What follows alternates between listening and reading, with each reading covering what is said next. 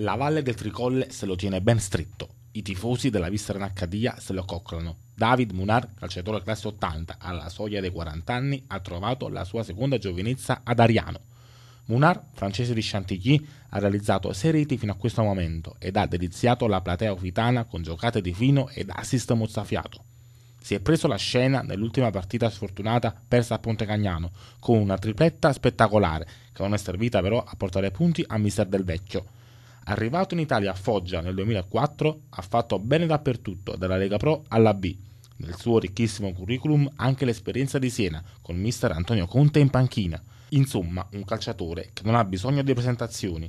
Nell'imminente girone di ritorno che verrà, la vista Ariano Accadia dovrà ripartire da lui e Munar, combattente qual è, non si tirerà di certo indietro. Allora continua così David, che l'Irpinia e Ariano tutta vuole il ritorno del grande calcio sul tricolle.